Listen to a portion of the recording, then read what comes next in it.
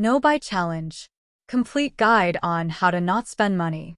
Have you ever participated in a no buy challenge or, at the very least, had some curiosity about the impact of a no spend challenge in your life? I know it sounds like a daunting task. I thought so, too, until I did it. It becomes easier the longer you do it. You just have to get started. Slowly, your habits will change, your mindset will change, and you'll realize you're more capable than you thought. It's quite refreshing. You'll also realize that you might be buying things because you think you'll get happiness from them. But more often than not, that happiness is short-lived or not actually true happiness. This might make you wonder, how do I not spend money every day? How do I not buy anything for a week, a month, or a year? I've turned my no buy challenge into a comprehensive guide, including some rules and best practices to help you complete your no spend challenge successfully. In this blog post, I will cover the nuances of a no spend challenge, the value to your life by participating in a no spend challenge, tips for how to get started, insights on things I've learned to make this challenge sustainable, and what to do when you're done with the challenge. What is a no-spend challenge slash no-buy challenge? Picture this. You and your wallet are on a mini vacation, a kind of spa retreat, where your cash gets to chill out and your cards get a break from the swiping action. It's like a diet for your spending, but way more fun and without having to give up chocolate. In simpler terms, it's when you challenge yourself not to spend any money over a set period of time. We're talking no new shoes, no fancy lattes, and definitely no late-night online shopping sprees. So, grab your metaphorical no-spend goggles and let's dive into the adventure of spending zilch, nada, nothing. Are there different types of no-spend challenges? There are many types of no-spend challenges. Based on your lifestyle and situation, you can decide which type of no-spend challenge works best for you. Why do a no-spend challenge? Okay, so you might be wondering, why on earth would I voluntarily put my shopping sprees on hold? Hear me out, it's not just about torturing yourself for funsies. The no-spend challenge can be difficult, but the eye-opening insights are worth it. No-spend challenges have many benefits, including changing your spending habits to remove impulse purchases, e.g., getting coffee at your local coffee shop, accelerating progress on your financial goals, e.g., early retirement, paying off student loans, saving for a house, opening up your mind and pushing your boundaries, i.e., you make the best use out of the things you already have.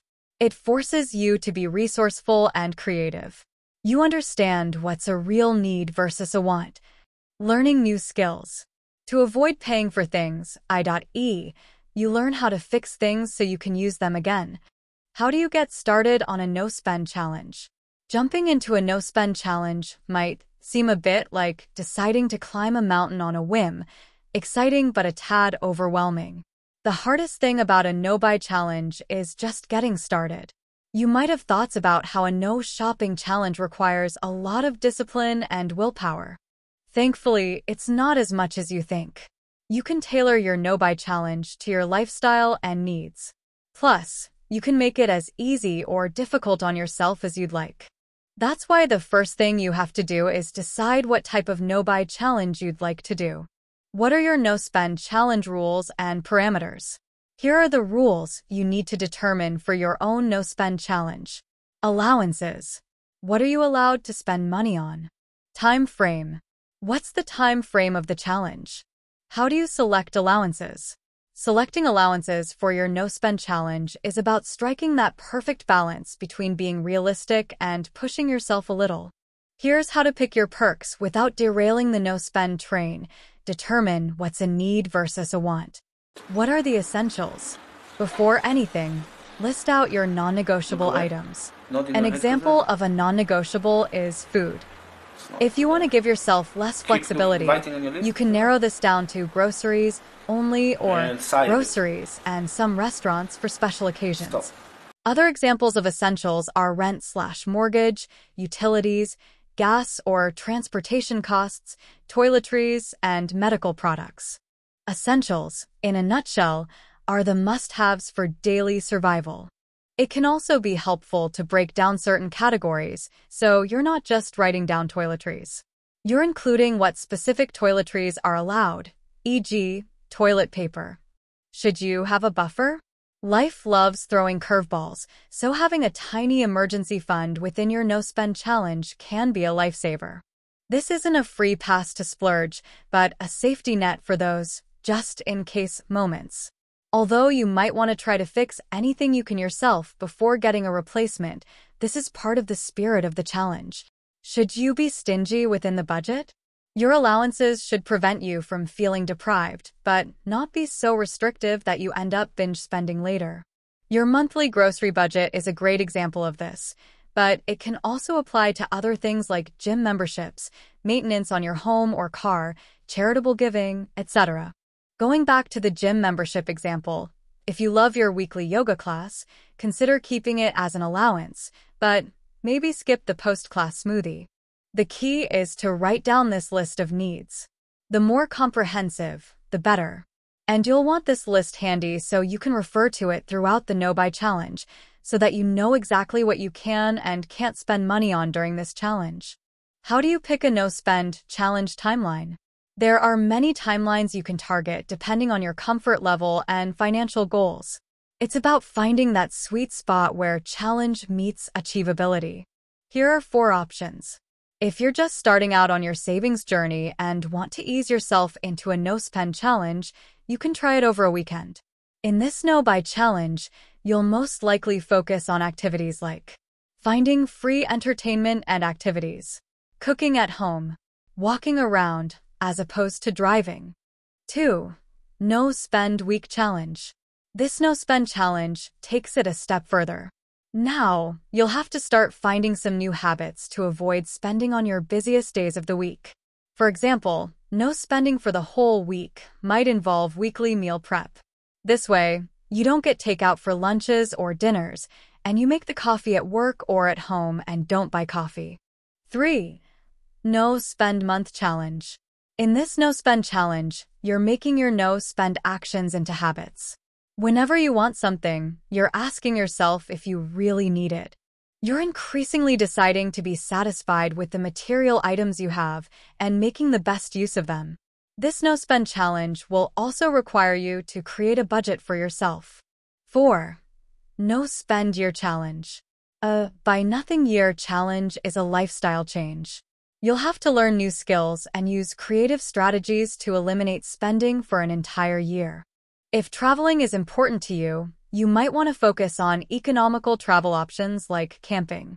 If you love eating out, learn how to cook your favorite dishes during this year without spending. Another thing to keep in mind is that this year-long no-spend challenge goes over major holidays and celebrations like Christmas and birthdays, so it will be helpful to have a plan in place for these. You'll have to consider DIY gifts, no gifts, or perhaps give the gift of an experience, e.g., take them to a free event or on a hike. Not buying anything for a year is a difficult challenge to partake in, but it will broaden your outlook on life. Which time frame is right for you? Based on your lifestyle and goals, select a time frame that's challenging but not too uncomfortable. You want to give yourself the best chance at success. If you're new to frugal living, Ease yourself into a weekend challenge. You can slowly work your way up to a week and then a month. It can also be helpful to think about what you want to achieve with this challenge. How do you successfully execute a no-buy challenge? How do you live without spending money? Here are tips for how to successfully complete your no-spend challenge. 1. Determine why you're doing this no-spend challenge. You need a goal to motivate yourself especially when you feel the urge to spend. It might be the goal of saving towards a vacation, car, house, early retirement. Put this goal in an area that's visible like the fridge, whiteboard, or the screensaver on your computer. You want to walk by it every day so you can remind yourself why you're doing this no-buy challenge, why it's worth it. 2. Set your no-spend challenge rules. Be crystal clear about what you can and cannot spend money on during your challenge and how long the challenge will be. It's also important to display your allowance list so you can always refer to it. Write down your rules and stick them somewhere you'll see every day, like on your fridge or bathroom mirror. It's like setting the rules of a game before you start playing. Everyone needs to know what's in bounds and what's out. 3. Discuss the no spend challenge with your family and close friends. Did you know that we typically reflect the traits and habits of the five people closest to us? That's why you ideally want them to be on your side. You want supportive people around you, people that are cheering you on. And I know it can be strange to bring up the no buy challenge topic. The good news is you don't have to make it into a big discussion. Just casually mention that you're trying this no spend challenge and why you're doing it. The good news is you don't have to make it into a big discussion.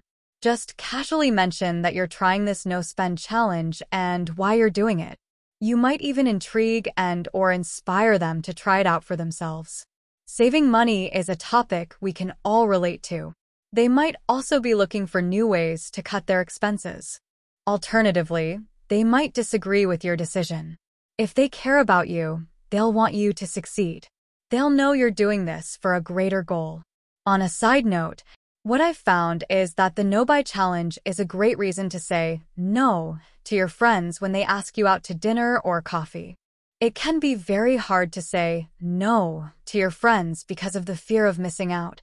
You can use the no buy challenge as a legitimate reason for saying no and then suggest a different activity that doesn't involve spending money. There are numerous activities you can do with your friends that don't cost money like hiking, hanging out at the park or beach, or board game nights. The purpose behind hanging out with your friends is to spend time together. You don't need money to do that. 4. Get creative with what you have. The No Buy Challenge is a great opportunity to clean out your pantry and use foods that you might not even realize are close to expiring. But this isn't the only way to get creative with what you already have. Here are a few other things you could do. Use gift cards you already have. Use loyalty card points. Barter with what you own. Consider trading your time for things you need. 5. Embrace learning new skills. With the No Spend Challenge, you will inevitably have to learn new skills. It could be cooking meals or learning how to fix an appliance, for example. If or when you run into a problem, you could easily feel frustrated and want a quick fix. Instead, use this as a learning opportunity or a chance to grow. Look up that YouTube video on how to DIY the problem. We're so lucky to live in a time when there's so much information readily available online. Use it. Failing is great because you're still learning. 6. Explore free things. There are so many ways to get free things nowadays to help you with your no-buy challenge. You can use resources like FreeCycle, which is a network of over 5,000 groups with over 8 million members giving away things for free. This is probably one of my favorite resources to get free stuff. I got an IKEA bookshelf from FreeCycle not too long ago. There's also the Buy Nothing Project group. They operate very similarly to FreeCycle. 7 rediscover old hobbies, or enjoy things you already own. Have you considered using some of what you already own to pass the time? Everything from forgotten hobbies to cozy home comforts awaits your rediscovery during your no spend challenge. If you've got books and board games collecting dust on your shelf, it's time to break them out again. Remember the knitting needles and yarn you stashed away, promising someday? Today's that day. And for the dormant artist within, let those art supplies loose and start painting, drawing, or crafting. These activities aren't mere time fillers. They're gateways to relaxation, creativity, and rediscovery of simple pleasures that don't demand a price tag. Seriously, this is a great way to enjoy time during your no spend challenge without breaking the bank. 8. Cut your expenses. This self reflection can be a rude awakening, but it's a necessary step to successfully complete a no-buy challenge. Think about what you've purchased over the last year that you didn't need to buy. Here's a list of common purchases I don't buy or buy infrequently. Makeup. I wear minimal to no makeup. If I'm going out, I might touch up my eyebrows and eyes, but I won't wear foundation, concealer, bronzer, etc. It's not only saved me a lot of money, but I've found it's better for my skin, doesn't clog my pores. Hair supplies. This might seem like an extreme no-buy challenge ask, but have you ever heard of the no-poo method? It's when you don't use shampoo. My two-year-old has never used shampoo. I only wash her hair with water. Her hair looks healthy and smells clean. I know how crazy this might sound. Check out how to get started on the no poo method so you can assess if this works for you. Haircuts. My husband and I cut each other's hair. For my hair, we just watched a couple of YouTube videos. For his hair, we use clippers and this haircutting cloak we got to help with easy cleaning. Razors or shaving cream. I use my husband's Philips electric shaver. I don't use shaving cream. He's had this shaver for over 15 years. 9. Hide credit cards. I'm a big fan of credit cards because of the credit card points. But if you feel like you're the type of person who's often tempted to buy things, take your credit card away while doing the no-buy challenge. With the ease of using credit cards, you can easily buy unnecessary things and spend money beyond your means. You know yourself best. If you feel like you can't control your spending habits, hide the credit cards and just use cash. 10. Remove any distracting activities that encourage shopping. As much fun as it is to do things with your friends or family, they may inadvertently encourage shopping or spending unnecessary money. This can include things like don't visit the mall, don't do any online window shopping.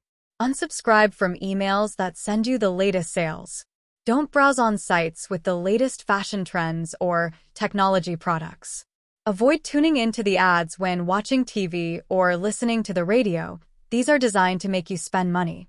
I used to browse deal sites on a regular basis. When I stopped doing that, I started reading a lot. That's actually what led to starting this blog. I love blogging, it challenges me, and I learn new things every day. It's one of the most rewarding things I've ever done. I also used to spend a lot of money on activities with family and friends. I realized there are so many free ways to spend time with your family, like playing board games you already have or watching movies from the library. 11. Thoroughly assess whether you need to buy an item. If you feel like you really need something and it's not on your pre-approved list of needs, on your no spend challenge rules, then ask yourself these questions. 1. Did you need it yesterday? This will help you determine if it's a true necessity. 2. Are you getting the best deal by purchasing it today? If not, wait until the right time, which might be Black Friday. 3. Can you wait until after the no spend challenge to purchase it? To get it off your mind, you can write it down. After the no spend challenge, Bring up the list of items you wanted to purchase and see if you still want those items. Odds are, you'll have found a solution to the problem or you realized you didn't need it as badly as you thought you did. 4. What are you actually getting out of this item? Are you getting short-term happiness? Is it meaningful happiness? Are you buying something because it's trending? Perhaps it's associated with an ideal image? Often we buy things to satisfy an immediate need or because it represents something we want to become. There's nothing wrong with buying things because it makes you feel good. It's good to be cognizant of your true motivation for buying and explore if there is another way to feel joyful. 5. How else can you solve this problem? Can you borrow the item? Can you get it for free? Can you get it used? Not buying anything new for a certain period is not easy, so pat yourself on the back for a job well done. Now before you start reverting back to old habits, it's time to reflect. How much money have you saved during that period? What have you learned? What new habits do you want to incorporate into your routine? When do you want to do your next no spend challenge? While no spend challenges are great tools to amp up your savings in a short period of time, it's the growth and development during that period that's going to result in massive savings in the long term. One thing to watch out for after a no-spend challenge. Before I finish this guide, I want to mention a sneaky little gremlin that might be waiting after the finish line who you'll want to be wary of, revenge spending. You've been so good, so disciplined, and not spending any money that when the challenge ends, you might feel this overwhelming urge to reward yourself. Suddenly, all those things you've been denying yourself become irresistible, and before you know it, you're on a shopping spree to end all sprees. Revenge spending is like binge eating after a diet. It's the pendulum swinging back with a vengeance. It's that voice saying, You've earned this, and it can quickly undo all the good work you've done, leaving you with a financial hangover that's far from pleasant. But fear not. Being aware of this pitfall is half the battle. One way you can ignore this little gremlin as you run past the finish line is to set aside a small sensible reward that won't blow your budget. Or better yet, find a non-monetary way to celebrate your achievement. Perhaps a day out in nature, a long bath, or an at-home spa day, anything that feels indulgent without opening the floodgates of spending. Remember, the goal of the No Spend Challenge is to recalibrate your relationship with money, to find joy in what you have, and to understand the difference between wants and needs. Let's not let this sneaky gremlin of revenge spending spoil the party. What if you can't do a no spend challenge, but still want to save money? Here are the best resources for saving money. Rakuten, formerly Ebates, is great because you can get up to 40% back for shopping online at over 2,500 stores, many of which you would normally shop at like Amazon, eBay, Macy's, Kohl's, Walmart, etc. It's free to sign up. Checkout 51. Checkout 51 is an app that gives you cash back for your groceries. If you purchase any groceries on their list, which sometimes includes everyday essentials like bananas, you can snap a picture of your receipt on your app. They make it super easy. The approval takes roughly a few days, and then cha-ching, you'll get money in your Checkout 51 account. $5 Meal Plan If you spend hours meal planning every week only to stress out some days and eat out, you might be interested in the $5 meal plan. For $5 per month, they send you a weekly meal plan where every meal will cost approximately $2 per person. They save you time and money so that you can focus on doing things you enjoy like hanging with your kid. They offer a 14-day free trial, approximately 40 recipes, regular or gluten-free that you can cancel at any time with no questions asked. Amazon Prime. This membership has two great benefits. Free two-day shipping and free access to movies, TV shows, music, and books. You no longer have to worry about last-minute items. You can cancel your other movie, music, and book subscription services. You can also get 20% off diapers and baby food when you have more than five subscriptions. Visit shopmommoneymap.com for more information.